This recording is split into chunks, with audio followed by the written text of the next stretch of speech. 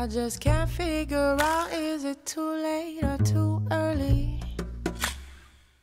Is it right on time? Could it be right on? So, one thing I discovered through the process of creating in high quality environments was how complex a sound really is, and how right now we live in a world where we are stripping away part of that complexity and therefore losing part of the emotion. And even I didn't know that. I didn't realize it until I got to really live the sound and then hear it later on or compare to different people.